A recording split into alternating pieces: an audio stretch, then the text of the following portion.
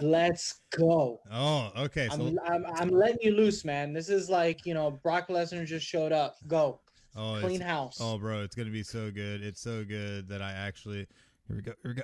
Ah, there we go. College football playoff is garbage. If you did not know this, then you have been living under a rock because this is the only sport in all North American sports that literally is able to screw over all the teams simultaneously that play in this league. Because we're going to do a little bit of a math lesson. And if you have not done math today, guess what? You're doing it now because it's great to work your brain and start your day. So we're going to start it from the top with all of North American sports how many teams they have, how many teams make playoffs, and the percentage of those teams versus the total team. So let's look at this. NBA, you have 30 teams in the NBA, 16 make playoffs, and there's always top four in the championship.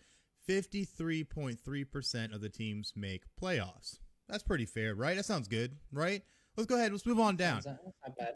Yeah, let's move on to the next one. That's I mean, NHL. it's, al- it's always LeBron, but hey. Oh yeah, you know, well, it is what it is. But NHL, 31 teams, 16 playoff teams, and probably still the best playoffs that you can see.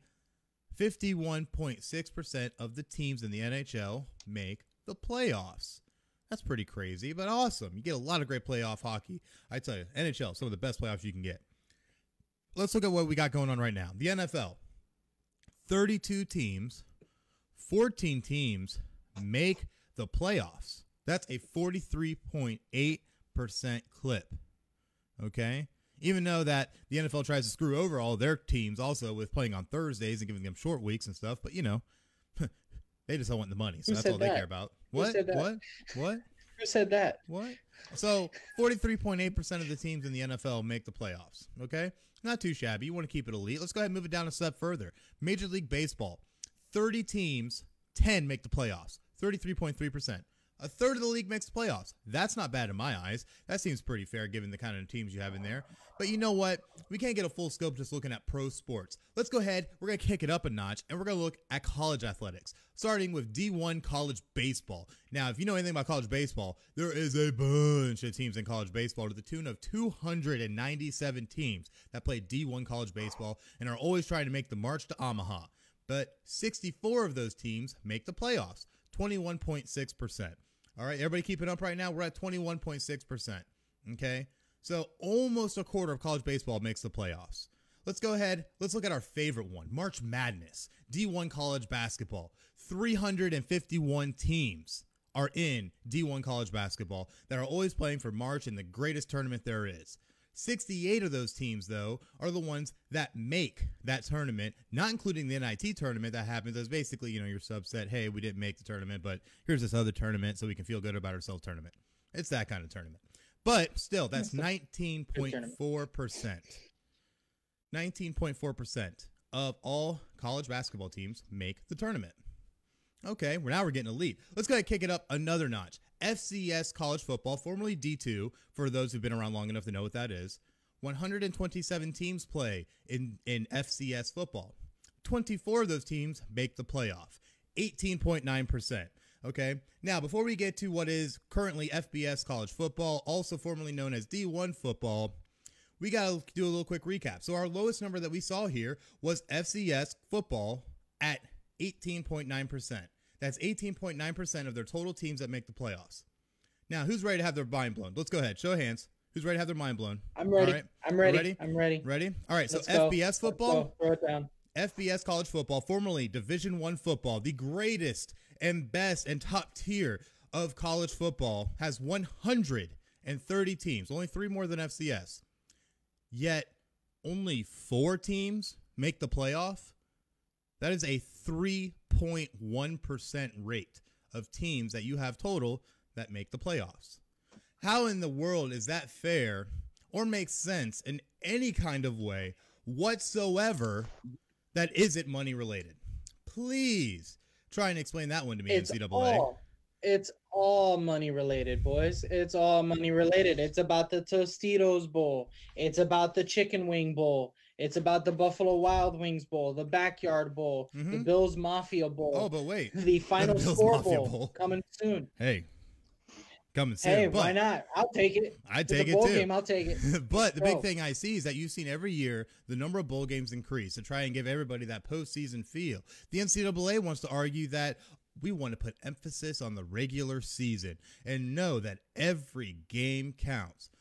Well, don't we boast the same thing in college basketball, yet you still play in a conference championship tournament and then turn around and play in the, oh, yeah, national championship tournament called March Madness? Interesting. Now, let's go ahead and look at this from another perspective, and this is one that I think no one really looks at. Now, people always say, well, FCS is not FBS. Okay. There's bigger teams with bigger fan bases, with more money and better players. Okay. But guess what? This is college athletics, regardless. And the FCS still deals with the same academic and athletic deadlines, rules, protocols, and everything that every FBS team does. And oh, let's not forget that the FBS and FCS are both run by the NCAA. So please try and tell me how there is any way whatsoever that there isn't a way we could institute a more than 14 playoff in FBS. There's no argument other than, oh, we like making money because, you know, it puts emphasis on all of our games. That's cool. You can still put emphasis on all of your games having a legitimate playoff. Okay. Bowl Now- games and sponsorships, man. That's what it's all about. Mm-hmm. And you want to take it a step That's further and look about. at it. Let's not forget that the current college football playoff format was was instituted less than 10 years ago. And before that, it was the BCS, which means you only had two teams, two teams out of 130 teams, which at that point actually I think was 100 and, actually 127. But still, the math doesn't add up. And you're telling me that this is legitimate? That this is the best way to crown your champion every year, year in and year out, knowing that the best teams are getting that shot? Bullshit. And that's what I say. Bullshit. Because there's no reason outside of money that this is happening. There's no reason outside of money that the college football playoff couldn't be expanded. No non power five team has ever qualified for the college football playoff. And we had two, not even one, but two non power five teams go undefeated this season in Coastal Carolina and in Cincinnati. And Cincinnati was top 10. So, I mean, where is the actual proof or reasoning to show that this is okay? There is none. And that's why I'm calling out the NCAA at this point. I'm calling out the NCAA. I'm calling out the College Football Playoff Subcommittee and the playoff itself. It is a sham. And if you think that this is fair, then you are blind because this is literally set up as a cash cow to make the NCAA and all these universities billions of dollars while they steal money from these kids that are putting their lives and their bodies on the line for these schools, for these athletic programs, and for these rich old fuckers sitting in their offices thinking that they have any kind of reason whatsoever to keep this as the status quo. It is garbage, NCAA. Complete It is garbage. I, I, let me and let me add to that real quick because there's a great point that you just mentioned there, bud, and that is, yeah, it's a huge cash cow. And what is the NCAA now going to do to silence a few things? Oh, now we're going to start entertaining the concept of paying our college athletes. Now, Mhm. And, and give them a stipend Do that not- won't exceed 10 grand. right? Do not be fooled.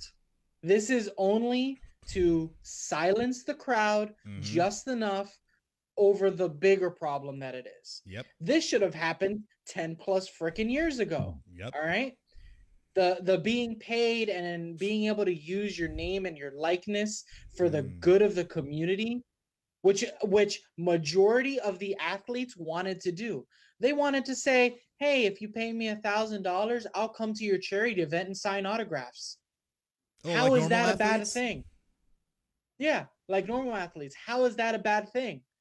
It's you know, or yeah, I just borrowed somebody's suit so I could make it to some kid's uh wedding that he invited me to.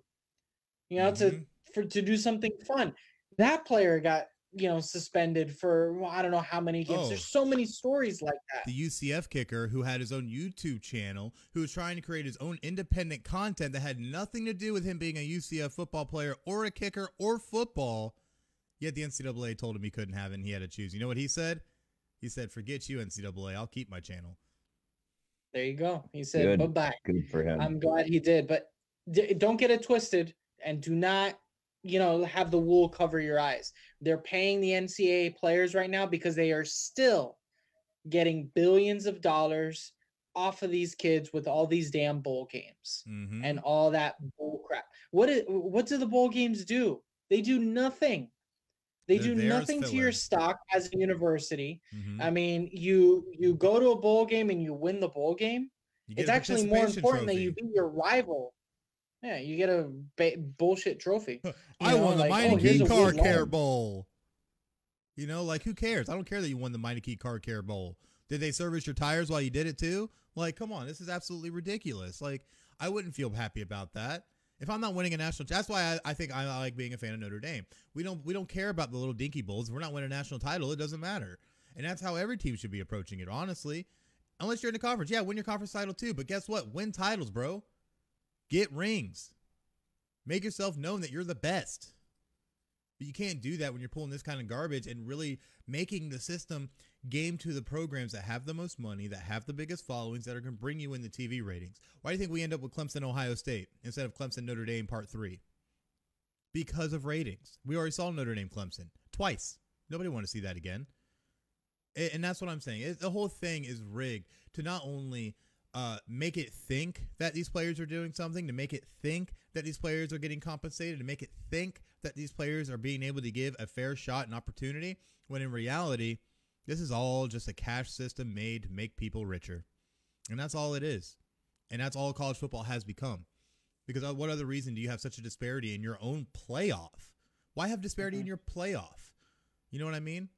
Status than quo. money. When Exactly. the status quo benefits you, you don't want to let it go. Exactly. That's how it's going to be. There, and now that they're going to start paying some of these guys, just wait. It's gonna going to allow them to be even more restrictive on their private lives. Mhm. Hey, we're paying you. You don't need to have that YouTube channel. You don't need to be doing a podcast. And some of these guys need the money. Mhm. That's the other they're thing college that nobody's kids. talking about is now that you're financially tied to the school, they've got you. Yep. They've got you For because now it's not just your professional career ahead of you that you have to worry about.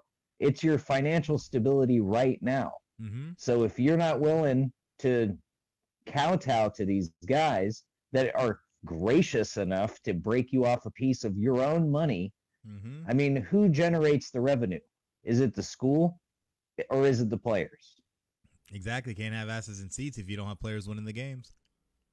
Yep. Right. So, and every time you see someone who doesn't want things to change, it's because the system currently benefits them the most. Mhm. Every single time. That's a guarantee. It's just human nature. Well, why do things need to change? I'm sitting here on top and it's great. What I'm And saying. what what I think pisses uh, me off as a fan of college football and a fan of college sports overall is that guess what? Baseball has the Omaha system, right? Mhm. You have March Madness with basketball. Okay, Mhm. you you have uh, a Frozen Four tournament with hockey. Yep. I You didn't know, even include I'm the never gonna shy away from from from doing that. There is a Frozen Four tournament with hockey, Mhm. um, and it's not just four teams.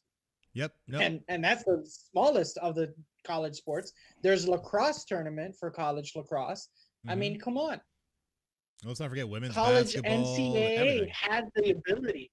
They have the ability, and they have systems in place already from other sports that they could mirror off of, Easily. but they don't want to. Nope.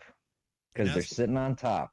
and I think that's why These we see. numbers say it all. Oh this yeah. is mind blowing to me. I mean, when you see it on paper like that, 3.1% of teams, that says it all. You Mhm. can't, numbers don't lie.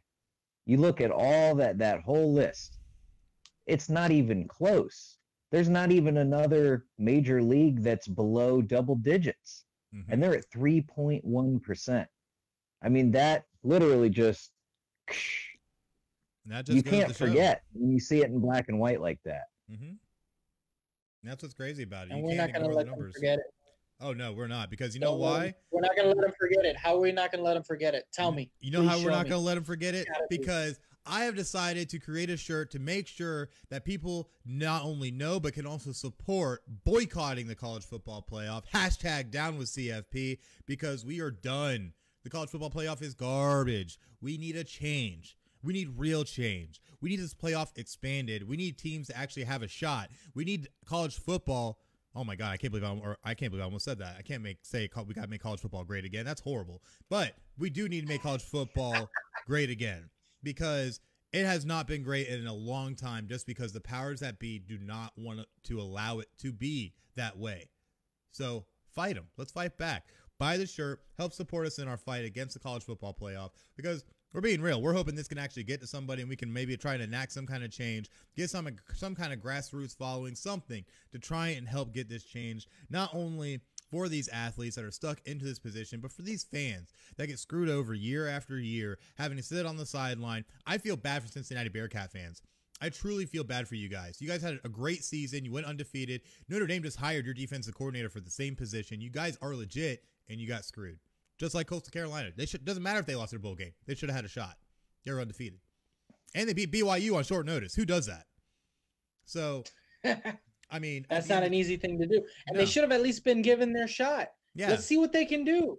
Yeah, who cares? Remember the last time a, a, team was given a shot? Oh, it was oh Boise State, and they went and beat Oklahoma in a bowl game in the Fiesta Bowl. In the Fiesta Bowl, in which, double which, overtime. We don't need to say. Sorry. We don't even need to say it the Fiesta Bowl because who gives a shit if it's the Fiesta Bowl? Yeah, That's who just cares? another They beat him either way. They beat them. They were given a shot and they beat them. So Absolutely. yeah, I'm I'm with you on this hundred percent. And talk about a missed opportunity. Every league in sports has taken a different approach this year. Mm-hmm. They've used this year the 2020, the BS of oh it's just 2020 to test some things out, and they did nothing. Yeah. I mean, other teams, other leagues did a bunch of different things for Mhm. protocols. Not so much the NFL, but they, you know, they put in a lot of protocols and safety and yeah. you know virtual meetings and virtual practices to kind of try to help. They did at least something. College football didn't do squat. No, and they never did. They had the That's opportunity to try something. They Yep. they had a chance to You're say, right. you know what? Because of 2020 and the teams not playing all the teams and not having to play 10 plus games, let's do an expanded playoffs. Let's see how it goes. yeah, didn't Nope. even consider it. Didn't even consider it. And that's what's absolutely And disgusting. they had a free pass.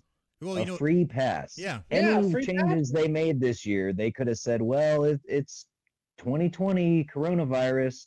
Mm-hmm. Any, literally any change. If they said, oh, the players aren't playing without helmets because they're going to need to wear face masks, or people would have had to go with it because that's just what it was. 2020 was the craziest year we've had it is. in a minute, maybe minute and a half. and for them to not that is such a good point like we literally would have let you get away with anything and what do you do maintain the status quo mm-hmm. Yep. Could have been a year of great growth, but again, help us in our fight to boycott the college football playoff. Again, you can get the shirt on our website, podcastcity.net. My goodness, I can't even English right now. I'm just so upset with NCAA football. I mean, Don't worry, man. We got you. We got you because you know what? I'm anytime going on you wear now. that shirt Go ahead, Jimmie. anytime you wear that shirt in public hit it up on the social media yes, tag it absolutely. hit it up on that Facebook page. Get the word out because we're not going to see change. Obviously, like George just said, they had every chance to change it this year and nothing happened. So it's going to come down to the fans getting the word out there. If somebody goes, well, why? Why would you want to stop the college playoffs? I, I love the uh, Toyota Corolla Bowl or whatever. Show them those numbers. That was the too fast, Just- too furious. show them those numbers. Because Yes. for me the seeing seeing this hearing that rant i might get a clip of the rant. And when somebody asks me about the shirt go here's chris. And now to chris. You got a couple minutes? And you know i might even carry a little mic around in my back pocket. And when the clip's over boom Just dropping but you got to you got to get the word out there. Nobody, Yes. unless we start making some noise, we're not going to get the product that we, the fans, deserve. Absolutely. We're we're the ones paying for the tickets, buying the merch. We're the ones supporting these teams. the fans and the players. Let's go. The players aren't in a position to change anything. They're beholden to the league that gives them all their opportunities. But the fans can support the players and give more guys an opportunity to shine. Absolutely. Yes, yes, yes. So definitely join us in our fight because this is we're going to try to make this go viral as much as we can. This segment probably will get clipped and released on its own, but definitely make sure to come support it. All you got to do, go buy the college football boycott the college football playoff T-shirt. Available now. Podcastcity.net backslash shop. It's available now. Uh, and let's take this thing down. Let's make true change happen, guys. Let's do it.